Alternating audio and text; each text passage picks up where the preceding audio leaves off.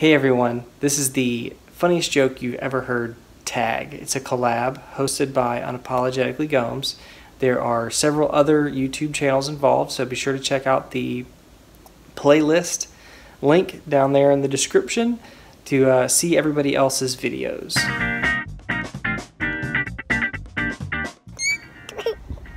hey everybody, we're the Upshaws, and this is the funniest joke I've ever heard.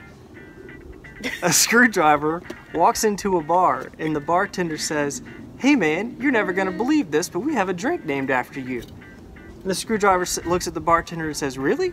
You've got a drink named Steve? Thanks for watching.